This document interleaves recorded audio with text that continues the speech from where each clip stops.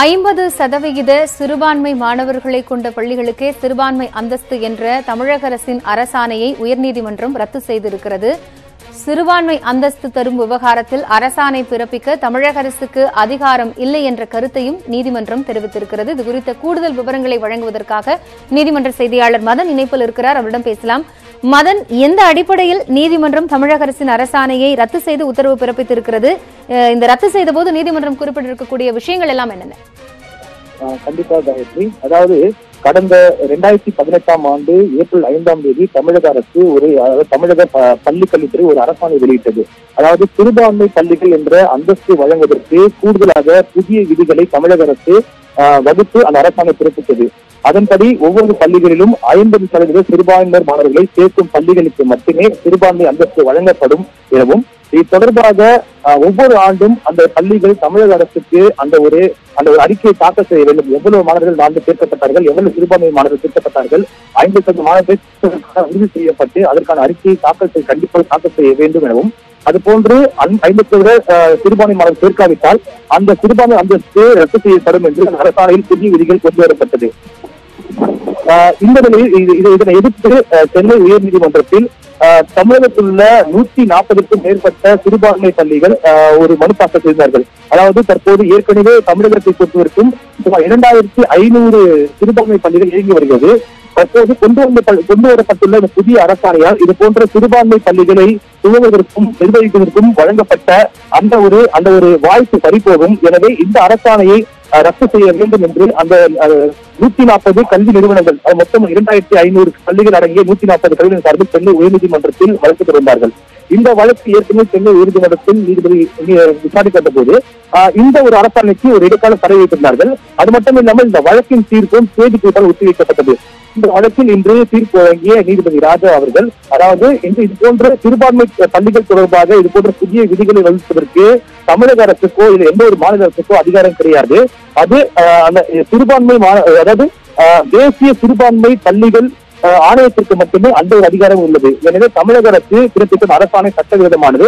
எனவே அந்த அரசை ரத்து செய்வதாக என்று உத்தரவிட்டார்.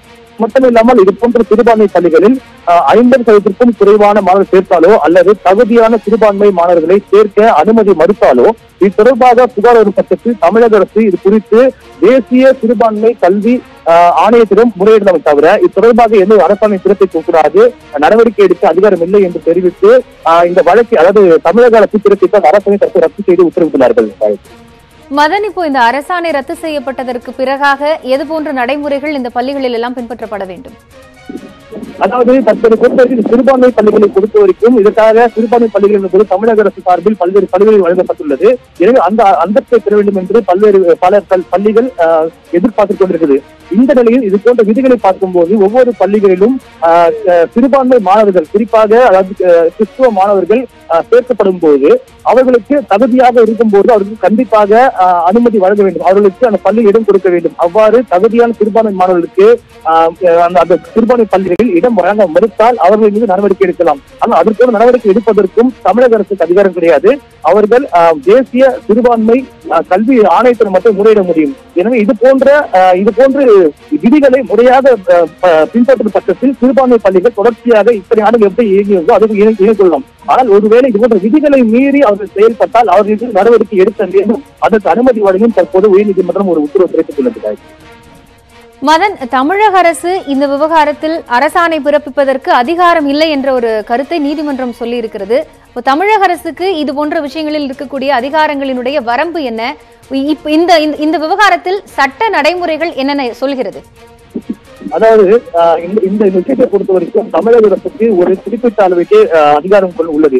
சிறுபான்மை பள்ளிகளுக்கு அவர் தேவையான வசதி செய்து தருவது அதுக்கான அதனை அதனை கண்காணிப்பு உள்ளிட்ட அதிகாரம் உள்ளதை தவிர இது போன்ற புதிய விதிகளை வகுப்பது அவர்களை அவர்களை கட்டுப்படுத்துவது தொடர்பான பல்வேறு புதிய விதிகளை உருவாது உருவாக்குவது தமிழக அரசுக்கு இடம் கிடையாது. அதற்கான அதிகாரம் கிடையாது. எனவே இந்த ஒரு அதிகாரத்தை இந்த விதிகளை மீறிதான் கடந்த இரண்டாயிரத்தி எட்டாம் ஆஹ், இரண்டாயிரத்தி பதினெட்டாம் ஆண்டு ஏப்ரல் மாதம் தமிழக பள்ளி கல்வித்துறையானது புதிய அரசாணை பிறப்பித்தது.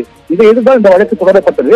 தமிழக அரசை பொறுத்த வரைக்கும் இது போன்று ஏதாவது விதிமுறை மீறல்கள் நடைபெற்றால் நடைபெற்றால் இப்போது சிறுபான்மை பள்ளிகளில் அதற்கான அஹ், அதற்கு தொடர்பாக அஹ், தேசிய சிறுபான்மை கல்வி நிறுவன ஆணையத்திடம் புகார் தெரிவிப்பது மட்டுமே தற்போது அவர்களுக்கு கொடுக்கப்பட்ட அதிகாரமாக உள்ளது. எனவே இதனைதான் தற்போது சென்னை உயர்நீதிமன்றம் உ- உறுதிப்படுத்தியுள்ளது காயத்ரி ஐம்பது சதவீத சிறுபான்மை மாணவர்களை சேர்க்கும் பள்ளிகளுக்கே சிறுபான்மை அந்தஸ்து என்ற தமிழக அரசின் அரசாணையை நீதிமன்றம் ரத்து செய்திருக்கிறது. இந்த விவகாரத்தில் சிறுபான்மை அந்தஸ்து பற்றி அரசாணை பிறப்பிக்க தமிழக அரசுக்கு அதிகாரம் இல்லை என்ற கருத்தையும் உயர்நீதிமன்றம் கூறியிருக்கிறது. தொடர்பான தற்போதைய தகவல்களை வழங்கியமைக்காக நன்றி மதன்.